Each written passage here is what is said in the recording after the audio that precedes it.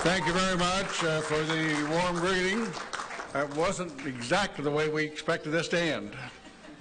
I do congratulate uh, Congressman Latham for his win, and I hope and trust that he'll do his best to serve us all.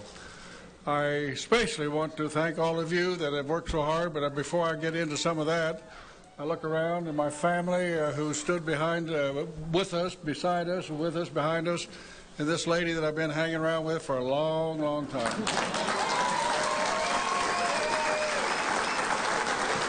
I just got thinking of it, and that long walk down here, uh, it was about, uh, well, come January the 10th, about 56 years ago, the public service started just up the block here a little ways uh, at the induction center and got drafted. And uh, so we spent a little over 20 years there, come back and went to farming, and then spent about uh, 12 years up there, with Senator McCoy, with you guys in the Iowa Senate, and uh, now 16 years in the Congress. Uh, it's been a privilege to serve my fellow Americans. Thank you very much.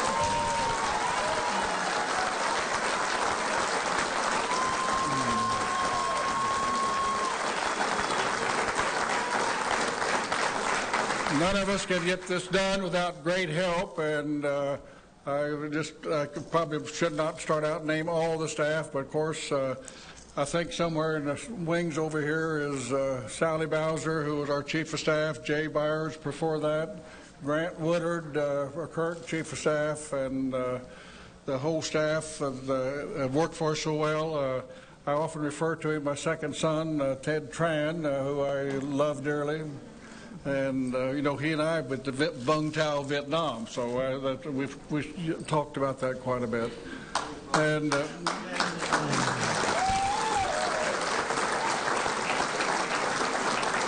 but my Washington staff are out here. We've been working in the district. Uh, the campaign staff, uh, Kevin Matteig,